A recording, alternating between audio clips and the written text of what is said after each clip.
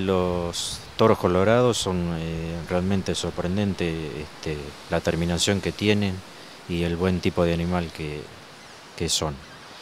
Y las vaquillonas negras como coloradas también son eh, muy sobresalientes con respecto a otros años. Es decir, estás viendo una mejora, estás advirtiendo que la genética se expresa cada vez mejor.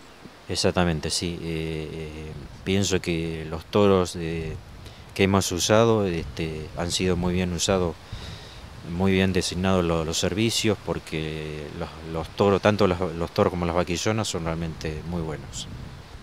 Decíamos con Ingrid, con Joaquín y también con Jorge acerca de la homogeneidad, que están alcanzando un biotipo dentro de la raza que tiene una capacidad funcional definida. Eso es lo que busca el criador, el productor que viene a comprar. Por supuesto, eh, nosotros sabemos que todos los, reproductores que se venden acá en la Torcasita van a los más diferentes ámbitos de la República.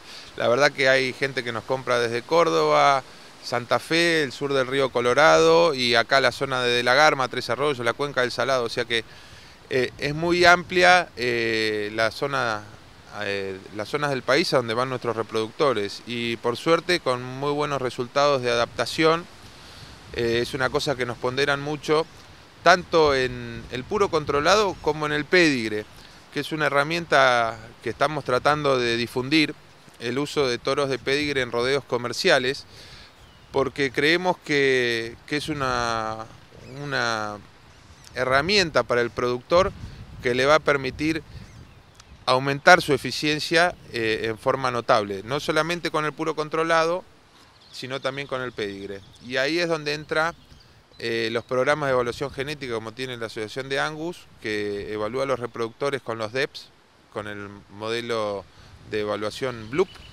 que es realmente donde encontramos un progreso genético importante y, bueno, los resultados que ya en Estados Unidos se vienen observando desde hace muchos años, eh, primero en la lechería y después en la carne, hoy los vemos como eh, están realmente teniendo resultados concretos eh, en la facilidad de engorde, en la eficiencia de conversión alimenticia y, bueno, nos abre una expectativa para el futuro de la genética bovina muy muy interesante.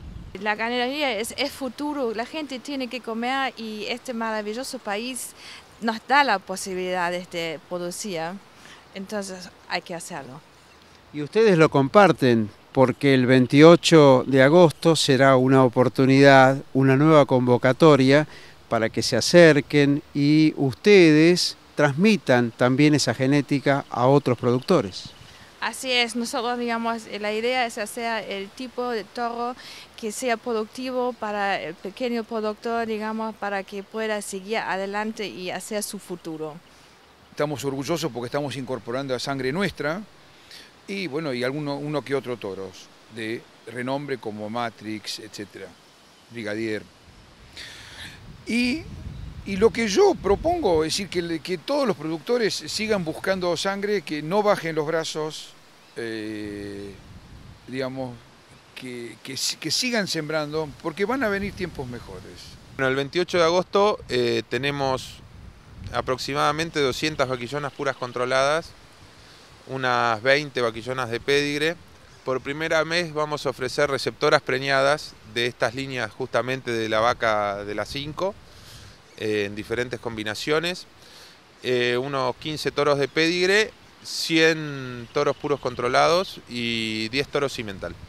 El martillo estará a cargo de Sáenz Valiente Bullrich y cuáles serán las condiciones financieras. Bueno, mira, el tema de las condiciones eh, son 90 días libres y 180 días va a haber con, algún tipo de, financiación, todavía no está definido, pero es importante eh, el concepto que queremos manejar con el tema de la financiación. Eh, queremos que, estamos convencidos de que la apuesta en la genética tiene resultados concretos sobre la eficiencia de producción. Entonces queremos que todos los productores, a pesar de este año difícil, sigan invirtiendo en genética, sigan apostando a la ganadería. Estamos cada vez más cerca de que esto se dé vuelta. Entonces es un año para seguir buscando la excelencia y, buscar el horizonte que ya está prácticamente cada vez más cerca de, llegar a, a los objetivos que todos estamos buscando. Se viene un encuentro con otros productores y el 28 de agosto será una oportunidad para justamente ponerse de acuerdo acerca de cómo plantear parte de ese futuro. Sí, y no perder la confianza, de seguir para adelante y, y buscar buenas sendas, yo creo que sí. Los Barman, los Riedke y su equipo. Un trabajo dinámico, permanente, desde hace 30 años, siempre con la ganadería y el empeño de hacer cada día un producto mejor. Hasta la próxima.